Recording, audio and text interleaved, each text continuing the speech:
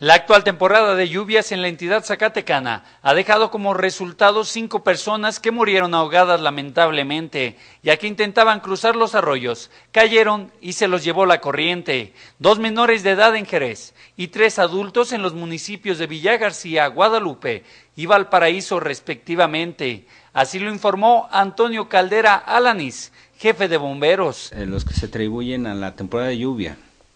Eh dos en Jerez, dos menores, el primero de 14 años, el segundo de 5 años, uno en Villa García, adulto de 86 años, fue arrostrado por la corriente, localizado, y el, en Guadalupe, eh, un masculino de entre 45 y 50 años, desaparecido el domingo, se localizó el lunes, y el día de, el, de Valparaíso, eh, desapareció el lunes, se localiza el martes en la noche, en la sierra.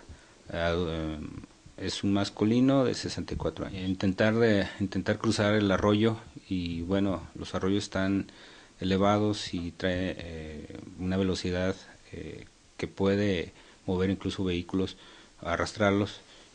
Para México Explorer, Cristian Acuña.